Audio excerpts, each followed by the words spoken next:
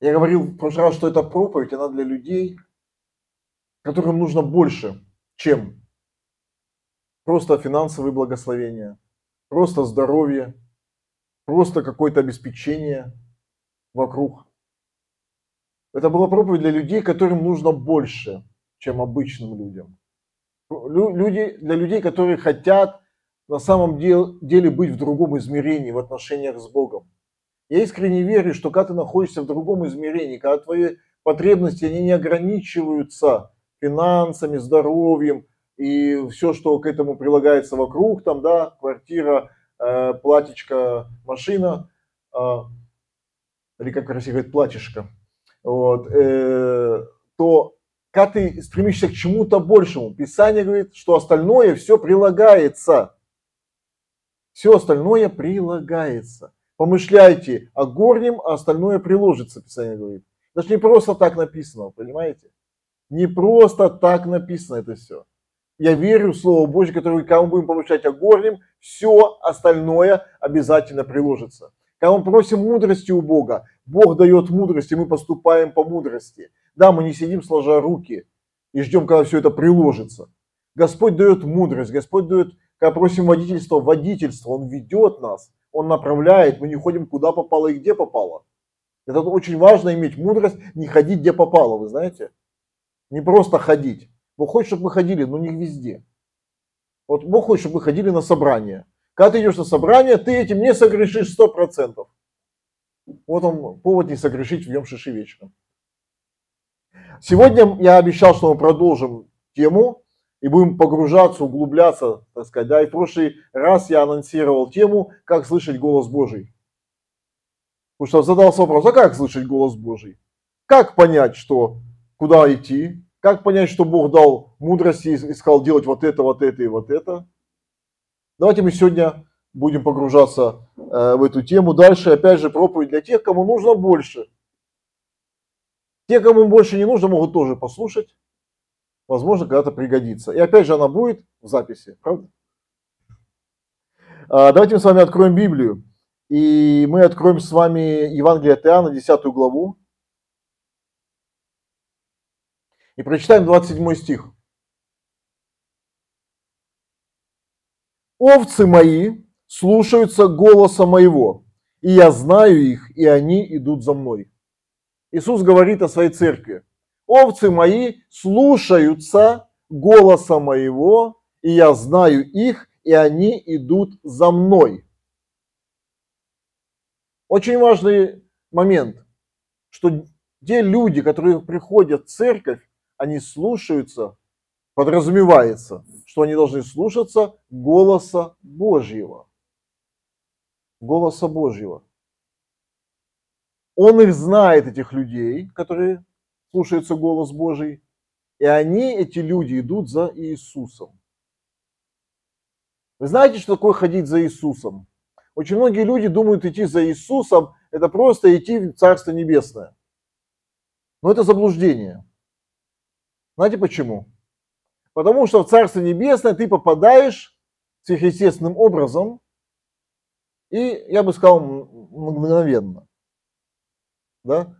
Все люди встречаются со Христом в разное время.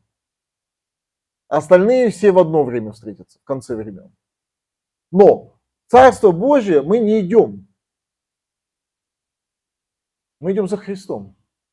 А теперь представьте себя что вы апостолы Иисуса Христа, э, первый век нашей эры. Они ходили за Христом. Помните? Что они делали, когда ходили за Христом? Они ходили и учились у Христа. Они наблюдали за Ним, что Он делает. Они наблюдали, как Он это делает. Впоследствии Иисус посылал их одних, по двое, и они делали то, что Иисус делал. То есть они учились у Христа, они ходили с Ним, и они делали то, что Он делал. Это очень важная вещь. В этом весь является, это признак хождения за Христом. Учиться у Христа, наблюдать за Ним, да, и делать то, что Он делал. Когда ученики делали что-то не так, Он их немножечко ругал. Вы помните? Были моменты, да? Эх, вы бестолковые. Этот же, говорит, изгоняется такая вещь постовой молитвой. Что ж вы сразу не догадались? Правда? А помните, ученики такие бодрые были? Говорят, а давай мы, говорит, этот город, самарийский огонь с ней сведем за то, что не хотят слушать тебя. Добрые очень были. Подобным образом был добрый Лестер Самрел, известный проповедник э, э, прошлого века, который э, говор, приглашал людей на покаяние, а кто не вышел на покаяние, говорит, а вам желаю все пойти в ад. Да. Долго он так делал. Потом перестал на каком-то этапе. А вам всем остальным, кто не вышел, я желаю пойти в ад. Поэтому, да, я специально паузу делаю, только чтобы вы осознали мысль. Ученики Иисуса Христа не были очень добрыми. Мы помним, что Петр, он был настолько недобрый, что кому-то там Майк Тайсон ухо откусил, а он ухо отрубил. Да? Майк Тайсон, в принципе, ученик Петра, получается, без меча только. Вот. То есть, ну, они ходили и делали то, что он говорил. И обратите внимание, что был период времени, когда Иисуса распяли, что они в страхе были. Они вернулись к своим бизнесам, они вернулись к своим лодкам, сетям. Они не особо проповедовали Евангелие в тот период времени. Вот это был промежуток небольшой, когда они пошли, думаю, а что ж мы теперь будем делать? И потом, когда Дух Святой сошел на них, начал, образовалась церковь. Тогда жизнь менялась уже полностью. Но ходить за Христом, это значит делать то, что делает Иисус Христос. Что бы Иисус сделал бы сегодня? Представьте ситуацию, если, допустим, сегодня Господь подходит к тебе и говорит, Пойдем за мной. Пошли. Хватит тут сидеть. Есть две вещи в водительстве Святым Духом, которые мы вот говорили прошлый раз, которые очень важно понять. Важно понять, что да, Господь тебя зовет. То есть понимаете, что не все признавали в Иисусе Христе Мессию. Не все признавали в нем великого учителя. Но те, кто пошли за ним, они это признали. Даже они до конца не понимали, что он Мессия но они признавали в нем великого учителя от Бога. И они вставали, бросали свои бизнесы и шли за ним. Сегодня, если Господь тебе говорит, встань и пойдем за мной, станешь ли ты и пойдешь ли за ним? очень важно понять, что да, это Господь. Поэтому мы говорим с вами, как слышать голос Святого Духа. Как важно понять, что да, это Господь зовет меня сегодня туда. Да, я должен обязательно быть в этом месте, несмотря ни на что. Несмотря на то, что меня ждет работа, я могу заработать немножко денег. Мы часто зациклены, друзья мои, на том, чтобы заработать чуть-чуть больше денег, чем мы заработали вчера. Мы очень часто зациклены на том, чтобы не пропустить ни один рабочий день, чтобы заработать денег. Но я вам скажу честно, я имею право это сказать. Я очень много не работал рабочих дней в жизни, ходя на евангелизации очень многое в своей жизни. И если бы я этого не делал, если бы я просто ходил на работу, как все люди ходили на работу, мое, мое окружение, боясь пропустить хоть один рабочий день,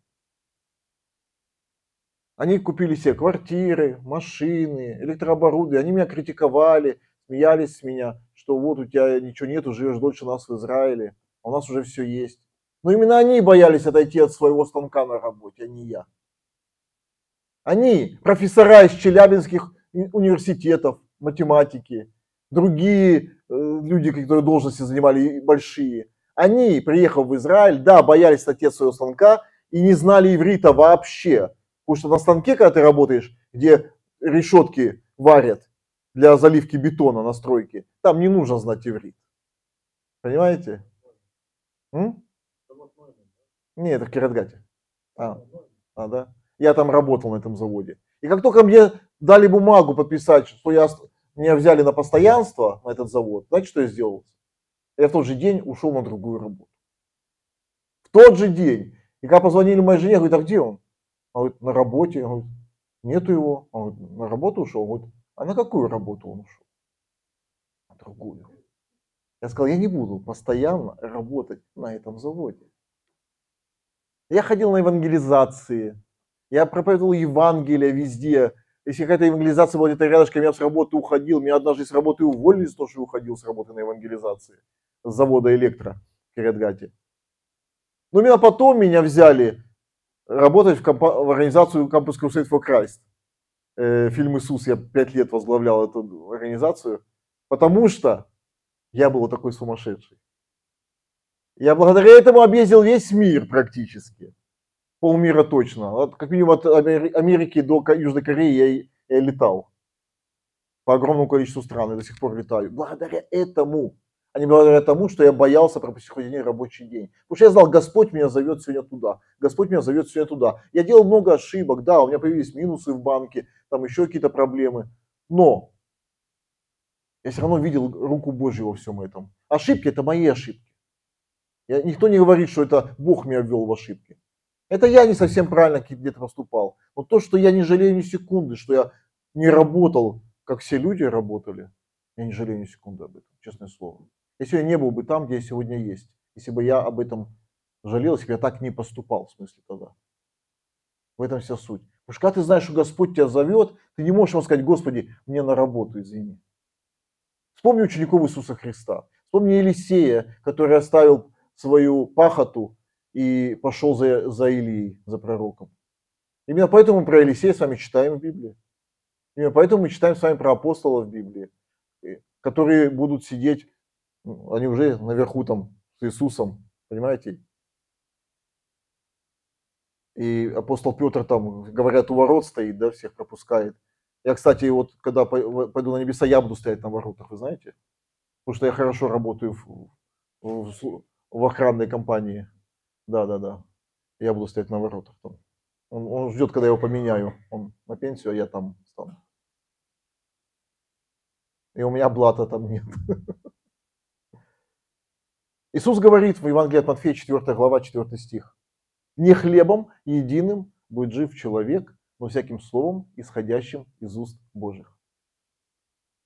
Не хлебом единым. Видите, опять мы возвращаемся не только хлебом, но всяким словом, исходящих из уст Божьих. Когда кто учился в библейских школах, тот знает, что вот это место, где здесь употребляется слово, употребляется на греческом слово рема, что означает слово, которое сегодня сказано в твою жизнь.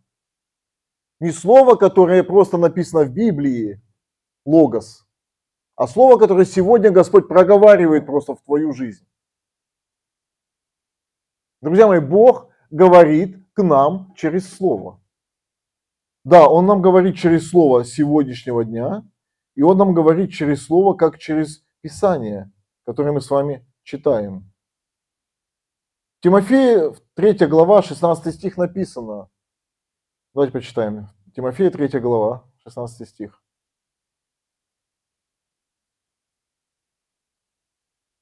Тимофея, 3 глава, Первое послание Тимофею, да. 16 стих. Наверное, все-таки второе. Да, второе. Третье. Да, второе. Все Писание Богодухновенно и полезно для научения, для обличения, для исправления, для наставления в праведности – да будет совершен Божий человек, ко всякому доброму делу приготовлен. Все Писание Богодухновенно. Бог говорит нам через свое Писание. Бог говорит нам свое слово через Писание. И Он через, также через слово логос может дать нам слово рема. То есть через слово написанное может дать нам слово, которое будет говорить сегодня твою жизнь. Когда мы спрашиваем, как нам слышать голос Святого Духа, первое, читай Библию. Выделяй время для чтения Библии. А, буквально вот сейчас я, я и вот и Максим тоже э, были на молитвенном завтраке в Иерусалиме. Первый день молитвенного завтрака я не поехал в Кнессет. Я пошел, э, я пошел молиться. Я пошел молиться. Я думаю, я в Иерусалиме. Я живу прямо возле старого города, гостиницы. Я в этот раз с проживанием там был. Я пошел молиться. Просто я решил, что если уже это молитвенный завтрак, то нечего мне там это в Кнессете сегодня делать. Там молиться я все равно не буду. Я пошел с вами, э, с вами сам с собой, я пошел с утра, проснулся и пошел к стене плача. Я помолился у стены плача. Ну так, помолился, скажем, больше, наверное, за нужды какие-то определенные, да, помолился там. Решил пройтись по святым местам. Потом я, уходя от стены плача, я пошел по, там, через иудейский квартал, потом через мусульманский квартал, я пришел в храм гроба Господня. И в храме гроба Господня у меня есть любимое место, точка такой, есть там католическая церковь. И я всегда туда, когда прохожу там, я всегда захожу туда посидеть и помолиться. Иногда, правда, можно попасть в ситуацию, когда ты попадаешь на католическое служение, то есть ты сидишь, сидишь, никого не трогаешь один. Раз католик в толпу бежал, у них собрание. А ты уже выйти не можешь. И там вот это вот, они то встают, то садятся, то встают, и ты с ними вот это вот делаешь все эти упражнения, физкультура. Я один в этот раз был, слава богу. И знаете, я открыл Библию, я начал молиться, а, я начал читать, решил прочитать одну главу, и потом как-то Господь меня повел дальше, я молился, я стал там просто на коленях, я молился, и я молился по Библии, прям там было одно слово такое, по ему молился, и мне вдруг Господь начал говорить через это слово, давать обетования свои через это слово. Я, знаете, я это слово читал, я его знаю наизусть. Но вот тут я просто пропитался тем, что Господь мне сейчас, говорит это прямо сейчас ко мне, Он мне дает свои обетования через это слово. Я встал от выходя оттуда, вот с такой, знаете, уверенностью, что то, что Бог мне сказал там, оно непременно произойдет в моей жизни. С уверенностью. То есть не надо там было сильно зажмурить глаза, чтобы потом их резко открыть, увидеть звездочки, сказать, что я ангелов видел. Не надо было там что-то придумывать себе, додумывать. Ты просто приобретаешь, получаешь свое сердце, в глубину своего сердца, своего духа, слово, живое слово от Бога. Через написанное получаешь живое слово от Бога в твою жизнь. Поэтому нам очень важно молитвенно читать Библию. Не просто читать молитвы, то есть размышлять, выделять время. Лучше меньше прочитать, но качественно. Не просто на скорость, там, чтобы мне прочитать все максимально быстро по плану, а качественно, спокойно. Пусть Господь нас будет вести. Я даже в тот день, что самое интересное, я даже молился, какое мне место открыть из Писания. И вот я открыл это место Писания, и просто пошло. Понимаете? То есть Господь живой в своем слове. Он хочет говорить тебе через твое слово, но для этого тебе нужно читать Божье слово. Это очень важный момент. Следующий момент. Как говорит, как слышать голос Духа Святого? Бог говорит через сны и видения. Деяние 2 глава, 17 стих. Бог говорит через сны и видения. 2 глава, 17 стих.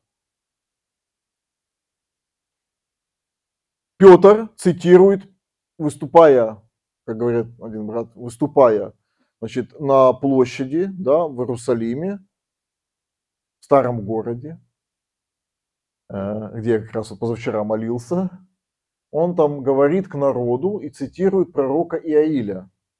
И говорит, и будет в последние дни, говорит Бог, излию от духа моего на всякую плоть, и будут пророчествовать сыны ваши и дочери ваши, и юноши ваши будут видеть видения, и старцы ваши сновидениями вразумляемы будут. И на рабов моих, и на рабынь моих те дни излию от духа моего, и будут пророчествовать. И покажу чудеса на небе вверху, и знамения на земле внизу, кровь и огонь и курение дыма, и так далее, и так далее. Но вот этот момент я хочу остановиться. Дочери ваши и юноши ваши, да, будут видеть видения, и старцы ваши сновидениями вразумляемы будут. Я хочу сказать тебе очень важную вещь, что когда ты видишь видение или сновидение от Господа, во-первых, ты будешь знать, что это от Господа. Да? Во-вторых, не надо не всегда обязательно что это всем рассказывать. Всегда очень важно помолиться от Господа ли это тебе, а второе, а, во-первых, не надо этого бояться и удивляться, да, там, и, или думать про кого-то он странный. Не, он не странный. Писание говорит, что люди будут видеть видения и сновидениями вразумляемы будут. Похоже, что я еще не старец, раз я сновидений не вижу от Господа. Но я был когда юношей, я когда-то был юношей, вот, я очень, мне Господь очень много говорил через видение. Очень много говорил через, я очень много видел, ну как много, не то что много, но каждый вот этот значимый момент моей жизни, в моем служении, он обязательно сопровождался каким-то видением от Господа, и я понимал, что это от Господа, и я понимал, что это будет. Я понимал, что это будет. Я никогда не старался поделиться с кем-то этим. Потому что в то время вообще как бы было а, не очень принято такими вещами делиться а, в харизматической церкви, потому что там считалось, что этого нету. А я выходец все-таки был с пятидесятнической, а у нас считалось, что это есть. Вот. Я особо не делился. Я как бы как Мария, знаете, складывал в своем сердце. А потом что-то происходило. Каждый раз что-то происходило. Я каждый раз понимал, Господь исполняет то, что Он мне когда-то показал. И я двигался в соответствии с этими видениями, которые мне Господь показал. И меня критиковали за то, что я иду этим путем. Они же не знают, почему я так делаю. Меня критиковали, осуждали, обсуждали, а я просто шел. И я скажу вам, если я не был бы там, где я есть, если бы я этого не делал тогда. Если бы обращал внимание на критику даже служителей других, которые вроде старше меня в Господе, дольше меня в Господе, вроде бы авторитетнее. Я просто шел, потому что мне Господь показывал, что делать. Я бы не был бы в Израиле сегодня. Я бы не был бы во многих местах вообще, если бы я не слушался того, что мне Господь говорит через видение. Понимаете? Поэтому это нормально. Ну, не надо там, как знаете, как в Пятидесятнической церкви была шутка такая, что там пророк встает, говорит, братья, вижу ведро.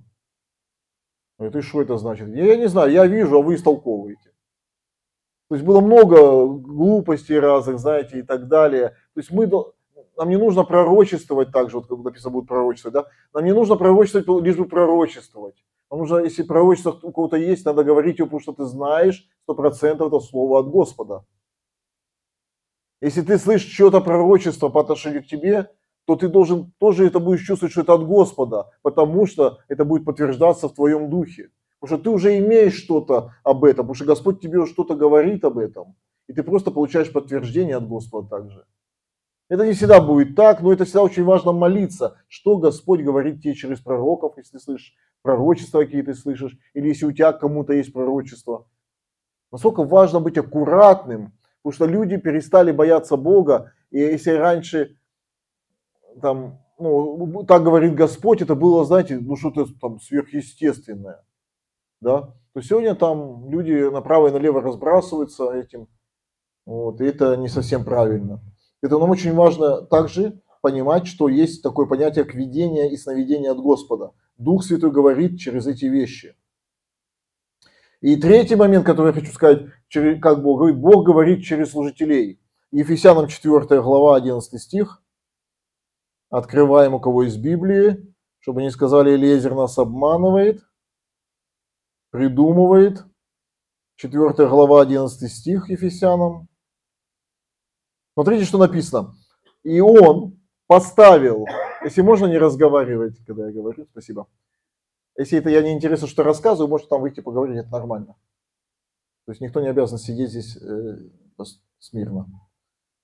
И он поставил одних апостолами, других пророками, иных евангелистами, иных пастырями и учителями к совершению святых на дело служения для созидания тела Христова. Бог ставит служителей в Доме Божьем к совершению святых, чтобы святые, то есть верующие в церкви люди, были более совершенными, да, или чтобы они э, возрастали в Господе, и для созидания тела Христова, чтобы церковь Божья строилась, созидалась. То есть, когда, допустим, я прихожу на служение, я слушаю проповедь, я прислушиваюсь к проповеди, как Слову Божьему, которое сегодня Господь хочет мне дать. Ведь этот человек, который проповедует сегодня, он молился об этом, наверное. Я допускаю это. Как минимум я молился о том, о чем проповедовать. Э, готовился. И это не просто так я пришел, как говорит один мой брат дорогой, выступить. Это не выступление сегодня. Знаете, это Слово Божье, которое я делюсь с вами сегодня. Да? И это очень важно. Когда я прихожу на служение, где я слушаю проповедь, я принимаю это как Слово Божье, которое сегодня Бог говорит ко мне лично. Лично ко мне, не к моему соседу, не кому-то в Ютубе, кто будет это смотреть, мне лично. Меня в данный момент не интересуют другие люди вообще. Потому что я должен питаться сегодня этим хлебом. Я должен есть этот хлеб, и поэтому я молюсь об этих вещах. Я прошу тебя, Господь, Господь, пожалуйста, говори сегодня ко мне. Однажды я пришел в такое место, где я не верил, что там правильно все происходит, но меня там пригласил человек, который мой друг. Я пришел на эту конференцию, я сказал, Господь, я знаю, что здесь все неправильно. Но я здесь пришел за моего друга, который меня пригласил, который очень много поучаствовал в моей жизни в положительном смысле. Поэтому, Господь, несмотря на то, что здесь все неправильно, пожалуйста, действуй для меня сегодня. И эти три дня были наполнены настолько силой Божьей в моей жизни. Потом я понял, что все было нормально и правильно. Я не понимал до этого момента, понимаете? Потому что мы часто же умные, мы думаем, что мы все понимаем.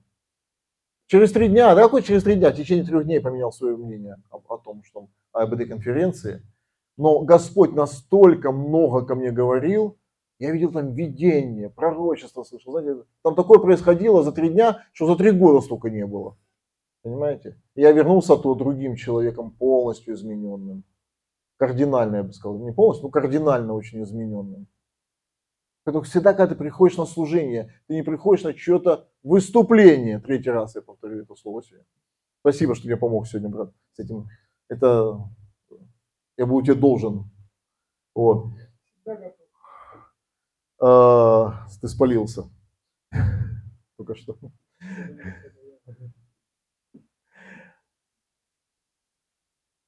Мы не пришли на выступление. Мы пришли сегодня питаться Словом Божьим. А если к этому относиться как к выступлению, то ты получишь от этого как от выступления. Если ты, да, ты ожидаешь Слова Божьего, ты получишь Слово Божье. Бог говорит через служителей, друзья мои. Они не просто так стоят и, четвертый раз, выступают. Аллилуйя. Еще у меня немного есть времени, и я такую возьму к этой же теме, такая подтема, не менее важная. Мы только что говорили о том, как слышать голос Божий.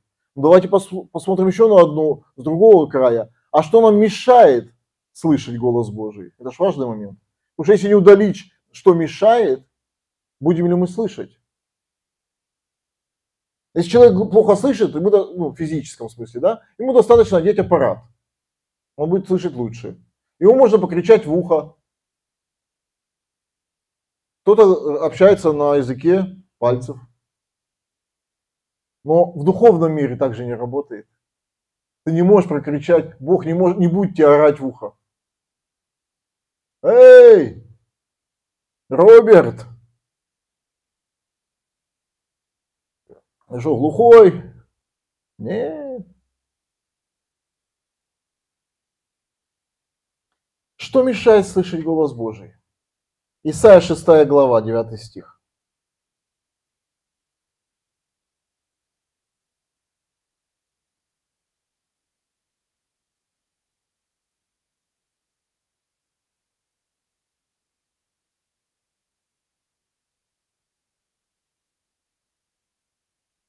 И сказал он, то есть Бог сказал, да, пойди и скажи этому народу, Слухом услышите и не уразумеете, и очами смотреть будете и не увидите.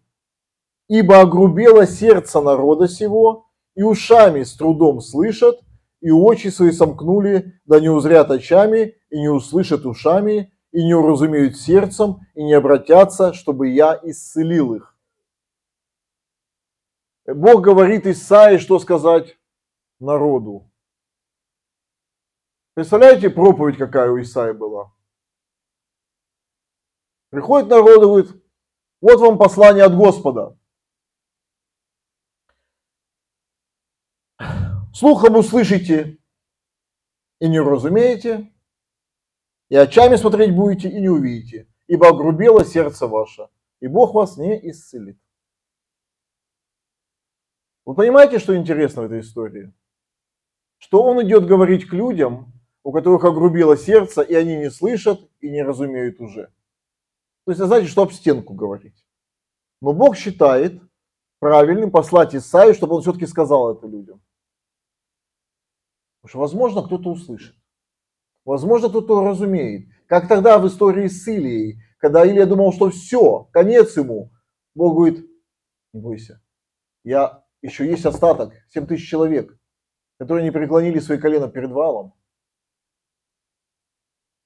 И Бог все равно посылает Исаию к народу, который не услышит и не разумеет, потому что имеет огрубевшее сердце. Нам очень важно, чтобы наши сердца были мягкими. Поэтому Бог говорит через пророка Еремию, что заберу у них каменное сердце и дам им сердце плотяное. Мягкое сердце. Бог забирает через Христа, благодаря Новому Завету, Он забирает у нас сердце каменное.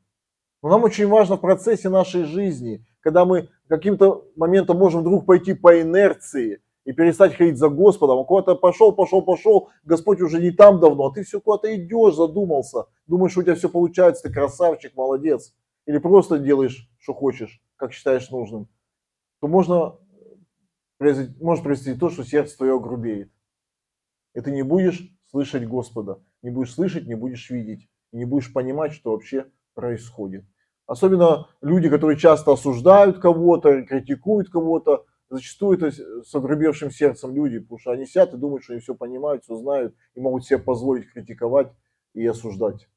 И это очень, очень проблематично. А, поэтому да, когда вам хочется кого-то прокритиковать, поосуждать, сразу первый признак, опа, задумайся о себе. Где находится твое сердце в этот момент? Не критикуешь ли ты действия Духа Святого? Это очень тоже опасно. Иакова, 4 глава, 8 э, стих, там написано, приблизьтесь к Богу и приблизиться к вам. Помните? Приблизьтесь к Богу и приблизиться к вам. Очистите руки грешники, исправьте сердца двоедушные. Вау. То есть Бог говорит, что грех, он мешает нам быть близкими с Богом. Грех, он мешает нам быть близкими с братьями и сестрами. Грех мешает нам быть близкими с церковью. Уж когда ты приходишь в церковь, Писание что говорит, да? То есть, мы ходим во свете, да, то имеем общение друг с другом. И кровь Иисуса Христа, Сына Божьего, очищает нас от всякого греха. Но когда человек живет во грехе, он не может ходить во свете. Он не может иметь общение с людьми с другими. И вы знаете, другие люди не виноваты в этом. Что он не ходит во свете, что он не имеет общения. Это вина того человека, который живет такой жизнью. Поэтому нам очень важно очистить грех, удалять грех из нашей жизни. Нам очень важно приблизиться к Богу. И Писание говорит, тогда приблизиться к нам. Бог приближается к нам тогда, когда мы приближаемся к Нему. Когда мы делаем навстречу Богу, Богу шаги, Он делает нам навстречу намного больше шагов. Пророка Исаия, также 6 глава, 8 стих. Еще раз откроем, вернемся к пророку Исаии. 6 глава, 8 стих.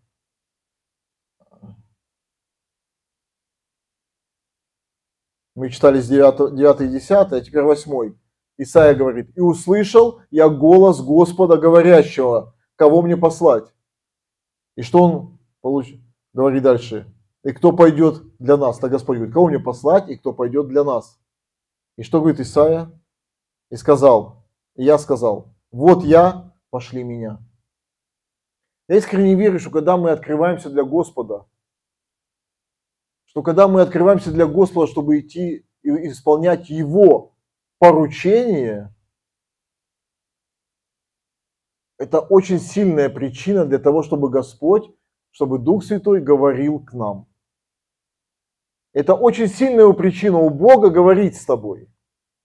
Вы, наверное, обращали внимание, что вы очень мало общаетесь с людьми, с которыми у вас нет каких-то совместных дел. Правда? Ну, как бы нет смысла общаться, согласитесь со мной. Когда-то Ледяев хорошо сказал, э, трактовал место из Писания, что мы уже никого не знаем по плоти, да? Вот, что говорит, мы никого не знаем в плоти, мы в церкви знаем людей по дарам. Духа и по дарам служения. А если эти дары у человека в церкви не работают, то мы его, в принципе, ну и не знакомы с этим человеком зачастую. Ходит кто-то там тихонько сел, да, тихонько ушел. Никто не знает, кто это. Но это такая трактовка у Ледяева, это другая тема, да? Что я хочу сказать? Когда мы с кем-то не имеем каких-то отношений по работе, по служению, э, он не наш сосед и не живет с нами в одной квартире, ну, масса вещей, почему нет, да?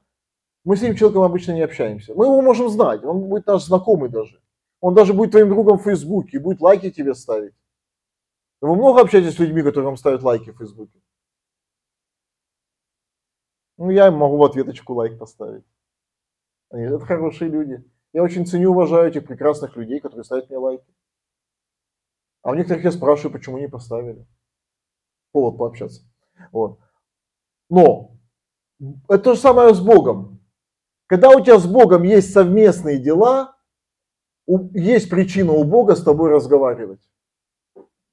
И нет никакой причины у Бога с тобой разговаривать, если ты не имеешь побуждения делать то, что Господь хочет делать, куда ты не готов пойти туда, куда Бог тебя пошлет.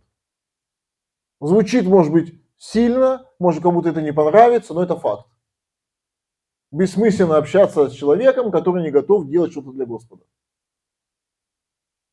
Не, для меня смысл есть. Вот. Если смысл у Бога, я не уверен.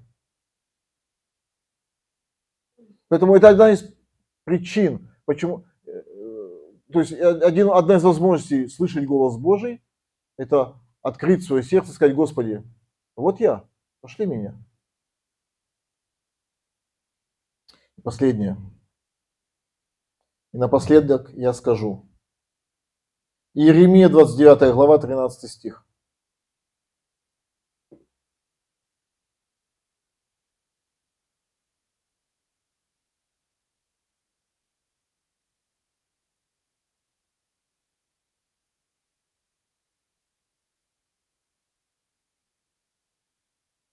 С 12 стиха. А, нет, давайте с 11. С 11 давайте. 29 глава пророка Иеремия с 11 стиха. «Ибо только я знаю намерения, какие имею о вас, говорит Господь. Намерения во благо, а не на зло, чтобы дать вам будущность и надежду. И воззовете ко мне, и пойдете, и помолитесь мне, и услышу вас и взыщите меня, и найдете, если взыщите меня всем сердцем вашим.